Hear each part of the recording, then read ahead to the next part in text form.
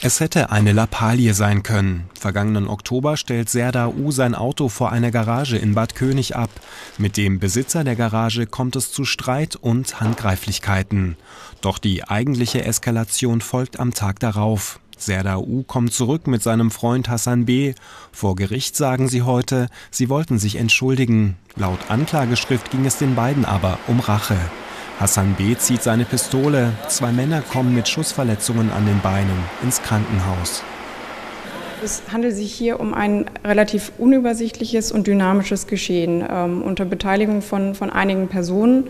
Und ähm, einfach die Rekonstruktion dieses Geschehens, so wie es auch tatsächlich passiert ist, ähm, das ist ähm, eine Herausforderung, aber auch unsere Aufgabe. Und äh, wir haben einige Beweismittel zur Verfügung, die herangezogen werden im Verlauf jetzt auch der, der Hauptverhandlung. Allein heute hatte das Gericht fast 20 Zeugen geladen. Ende Juli wird das Urteil erwartet. Hassan B. drohen bis zu elf Jahre Haft.